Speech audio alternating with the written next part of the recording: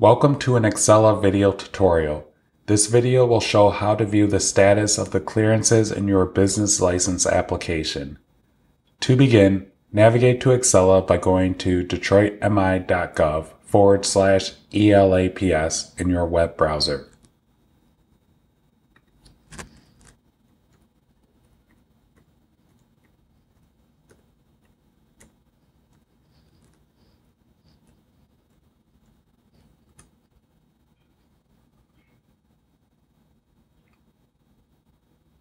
Log into your account.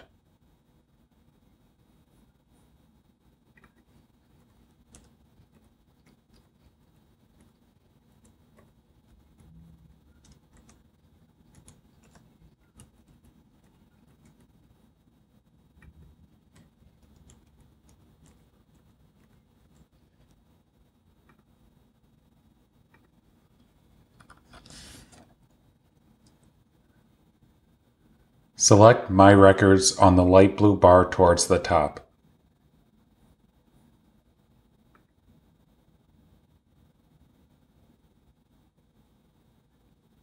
Expand the business license category.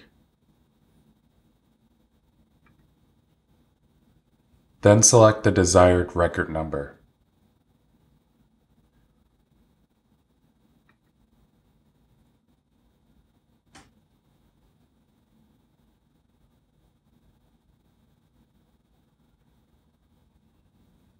Expand the Record Info dropdown.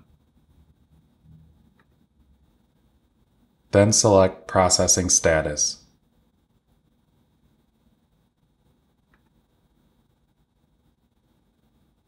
The Processing Status page lists all steps in the business license process. The required clearances are also listed on this page. A green check mark to the left indicates that the task is completed. Pending tasks will have an hourglass icon, and tasks that have not yet been started will be blank. To view the history of a clearance, select the arrow to the left to expand. In this example, I will expand the fire clearance.